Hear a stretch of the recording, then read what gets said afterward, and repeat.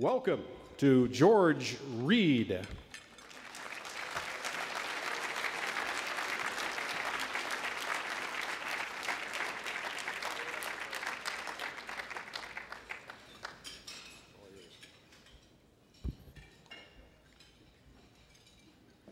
Ladies and gentlemen, it's a pleasure to be here.